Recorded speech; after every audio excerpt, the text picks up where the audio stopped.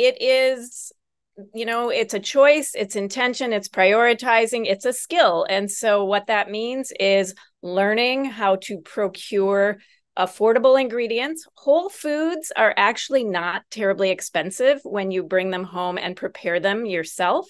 So it's a long term investment. Uh, we always teach people that you have to sort of look at prioritizing what are you spending your money on where can you move things around so food is one thing but there's a lot of things that we choose to spend our money on that we maybe could move around um, moving meat away from the center of our plate can give us some resources to put towards other things like whole grains and vegetables and legumes and other things that are actually very affordable.